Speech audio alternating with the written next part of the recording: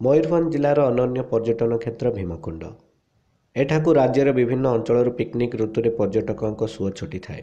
ହେଲେ ଭୀମକୁଣ୍ଡର ସୁରକ୍ଷା ବ୍ୟବସ୍ଥାକୁ ନେଇ ଏବେ ଉଠିଛି ବିରାଟ ପ୍ରଶ୍ନ। ଭୀମକୁଣ୍ଡକୁ ଦୁଇ ହଜାର ଛଅ ମସିହାରୁ ପର୍ଯ୍ୟଟନସ୍ଥଳୀ ହିସାବରେ ରାଜ୍ୟ ମାନଚିତ୍ରରେ ସ୍ଥାନ ମିଳିବା ଦିନଠୁ ଏଠାରେ ସବୁବେଳେ ପର୍ଯ୍ୟଟନଙ୍କ ସୁଅ ଛୁଟିଥାଏ ଏଠାରେ ସୁରକ୍ଷା ବ୍ୟବସ୍ଥା ଠିକ୍ ନଥିବାରୁ ବହୁ ସମୟରେ ମୂଲ୍ୟବାନ ଜୀବନ ଅଦିନରେ ଝଡ଼ିବାର ନିଜର ବର୍ଷରେ ଦୁଇଟି ତିନୋଟି ଘଟଣା ସାମ୍ନାକୁ ଆସିଥାଏ। ତେବେ ଗତକାଲି ମଧ୍ୟ ଏପରି ଏକ ଦୁଃଖଦ ଘଟଣା ସାମ୍ନାକୁ ଆସିଛି।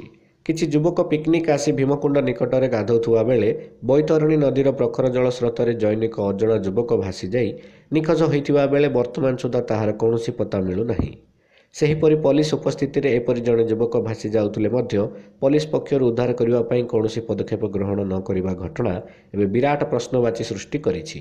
ସେହିପରି ବର୍ତ୍ତମାନ ମୟୂରଭଞ୍ଜ ଏବଂ କେନ୍ଦୁଝର ପୋଲିସର ସୀମା ବିବାଦ ଫଳରେ ଏପରି ନିରୀହ ଜୀବନ ସୁରକ୍ଷା ପରିବର୍ତ୍ତେ ନିଜ ନିଜ ସୀମା ନିର୍ଦ୍ଧାରଣ ଆଳ ଦେଖାଇ ସେଠାରୁ ନିଜ ଦୋଷ ଦୁର୍ବଳତାକୁ ଲୁଚାଇବା ଚେଷ୍ଟା ଚଳାଇଛନ୍ତି। ସେହିପରି ଗତବର୍ଷ ମଧ୍ୟ କଟକ ମଧୁପାଟଣା ଅଞ୍ଚଳରୁ ଆସିଥିବା ପିକନିକ୍ ପାର୍ଟିର ଅହନ ମିଶ୍ର ନାମକ ଜୈନିକ ଯୁବକ ମଧ୍ୟ ଏଠାରେ ଭାସିଯାଇ ଅଣତିରିଶ ଦିନ ପରେ ସେଠାରୁ ଗଳିତ ମୃତଦେହ ଉଦ୍ଧାର କରାଯାଇଥିଲା।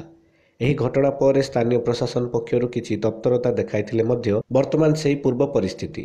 ଗତବର୍ଷ ପାଖରୁ ବନ ବିଭାଗ ପକ୍ଷରୁ ବନ ସୁରକ୍ଷା ନାମରେ ଏକ କମିଟି ଗଠନ କରାଯାଇ ପିକନିକ୍ ଆସୁଥିବା ପର୍ଯ୍ୟଟକମାନଙ୍କଠାରୁ ଦୁଇଶହ ପଚାଶରୁ ତିନିଶହ ପଚାଶ ଟଙ୍କା ପର୍ଯ୍ୟନ୍ତ ବେଆଇନ ଭାବେ ମୋଟା ଅଙ୍କର ଫି ଆଦାୟ କରାଯାଉଥିବା ବେଳେ ଭୀମକୁଣ୍ଡର ସୁରକ୍ଷା କିମ୍ବା କୌଣସି ପର୍ଯ୍ୟଟନମାନଙ୍କର କୁଣ୍ଡ ନିକଟରେ କୌଣସି ସୁରକ୍ଷା ବ୍ୟବସ୍ଥା ଗ୍ରହଣ ନ କରିବା ପର୍ଯ୍ୟଟନମାନଙ୍କ ମନରେ ଭୟ ସୃଷ୍ଟି କରିବା ସହ ବହୁ ମୂଲ୍ୟବାନ ଜୀବନ ନଷ୍ଟ ହେଉଛି। ଏହାର ସୁରକ୍ଷା ପ୍ରତି କେହି ଦୃଷ୍ଟି ଦେଉନାହାନ୍ତି। କୌଣସି ଅଘଟଣ ଘଟିଲେ କିଛି ଦିନ ପ୍ରଶାସନ ପକ୍ଷରୁ ନାମକୁ ମାତ୍ର ତତ୍ପରତା ଦେଖାଇ ଚୁପ୍ ବସିବା ପର୍ଯ୍ୟଟକମାନେ ନାପସନ୍ଦ କରୁଛନ୍ତି। ତେବେ ଦେଖିବା ପାଇଁ ବାକି ରହିଲା ଏହି ଘଟଣା ପରେ କି ପଦକ୍ଷେପ ଗ୍ରହଣ କରୁଛି ସ୍ଥାନୀୟ ପ୍ରଶାସନ।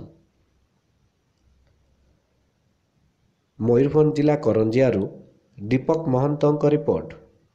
ଉତ୍କଳ ଖବର।